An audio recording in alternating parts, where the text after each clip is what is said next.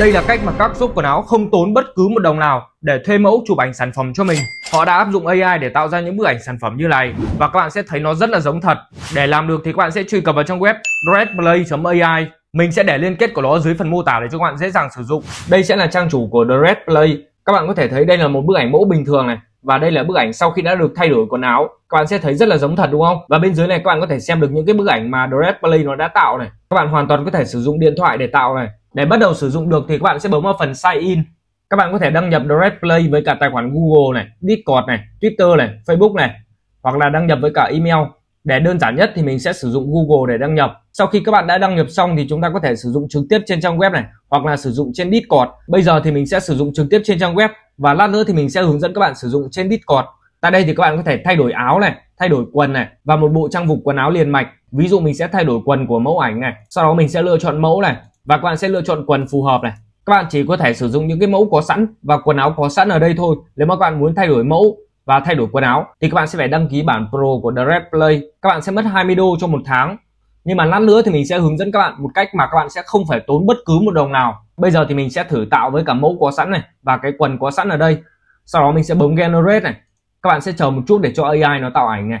Rất là nhanh thôi đây sẽ là bức ảnh mà AI nó đã tạo cho mình này, nó đã thêm cái quần này vào trong mẫu và các bạn sẽ thấy nó rất là giống thật, đúng không? Và để tải được ảnh xuống thì các bạn sẽ bấm vào đây. Nhưng mà các bạn muốn thêm những cái ảnh sản phẩm có sẵn của mình vào thì các bạn sẽ sử dụng Direct Play trên Discord. Các bạn sẽ bấm vào phần Join Beta Discord này. Sau đó chúng ta sẽ chấp nhận lời mời này. Nó sẽ điều hướng đến kênh Direct Play trên Discord này. Tại đây thì sẽ có hai phòng để cho các bạn tạo ảnh là zoom 1 này, zoom 2 các bạn có thể chọn tùy ý để tạo được ảnh thì các bạn sẽ ghi gạch chéo này và chọn generate image này. Nếu mà các bạn muốn thay đổi áo thì chúng ta sẽ chọn top này. Muốn thay đổi quần và váy thì các bạn sẽ chọn bottom này. Và nếu các bạn muốn thay đổi cả một bộ trang phục thì các bạn sẽ chọn on file này. Ví dụ mình sẽ thay đổi áo này. Phần đầu tiên này thì các bạn sẽ tải lên mẫu ảnh này. Và phần thứ hai các bạn sẽ tải lên trang phục. Ví dụ mình sẽ sử dụng bức ảnh của trường giang này. Sau đó mình sẽ lưu nó về máy.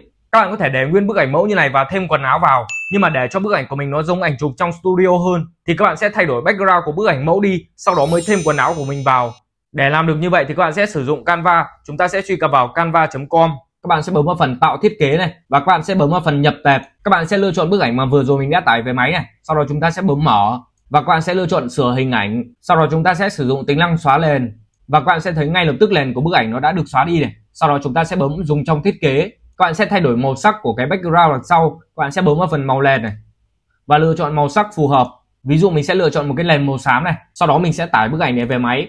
Bây giờ chúng ta sẽ quay trở lại Discord và các bạn sẽ bấm vào đây và các bạn sẽ lựa chọn bức ảnh mẫu này, sau đó bấm mở. Tiếp theo các bạn sẽ tải lên quần áo. Mình muốn trường giang mặc áo lá cờ Việt Nam này, sau đó mình sẽ bấm mở. Sau đó các bạn sẽ nháy chuột vào đây và bấm enter.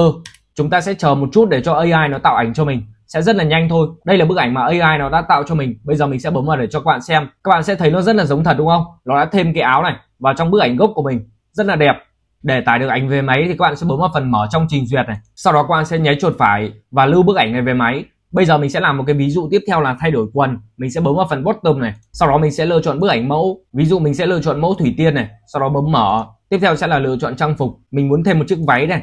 Sau đó mình bấm mở. Và các bạn sẽ nháy chuột vào đây. Sau đó bấm enter này. Đây là bức ảnh mà AI nó đã tạo cho mình này. Rất là giống thật, đúng không? Nó đã thêm chiếc váy này vào trong bức ảnh gốc cho mình. Mình sẽ mở to nó ra để cho các bạn xem rõ hơn này. Rất là giống thật, đúng không? Nó không hề bị lỗi một chút nào luôn. Mình sẽ thêm một bạn mẫu thứ ba này, và cho bạn ấy mặc cái áo mà trước đó mình đã thiết kế. Sau đó mình sẽ bấm enter này. Các bạn sẽ thấy là bạn mẫu này được thêm chiếc áo của mình đã thiết kế vào này. Các bạn sẽ thấy phần chữ này, nó được giữ nguyên hoàn toàn và nhân vật nó sẽ không bị biến dạng. Vậy là các bạn hoàn toàn có thể thêm những cái mẫu thiết kế của mình vào mà không sợ bị lỗi. Mình có một mẹo ở phần này để các bạn tạo ra những bức ảnh nó nhìn giống thật nhất. Ví dụ của mình là một chiếc áo phông cộc tay này, thì mình cũng sẽ lựa chọn bức ảnh mẫu mà mặc áo cộc tay này tiếp theo bức ảnh sản phẩm của mình là một chiếc váy này, thì mình sẽ lựa chọn bức ảnh mẫu nào cũng đang mặc váy, và nó phù hợp với cả cái độ dài này. Thì bức ảnh của mình tạo ra nó sẽ được đẹp nhất. Và ví dụ tiếp theo là một chiếc váy dài này, thì mình cũng sẽ lựa chọn một cái bức ảnh mẫu nào đó cũng đang mặc một chiếc váy dài. Nó sẽ có cái form tương tự như bộ quần áo của các bạn muốn tạo. Và đây là bức ảnh được tạo này, rất là giống thật, đúng không? Vậy là vừa rồi các bạn đã biết cách sử dụng Direct Play để tạo ra những bức ảnh mẫu thời trang. Nếu mà các bạn đã xem đến đây mà có bất cứ thắc mắc gì, hãy bình luận ở phía bên dưới. Mình sẽ hỗ trợ trực tiếp cho các bạn và để xem những video hay nữa về AI các bạn hãy bấm vào đây.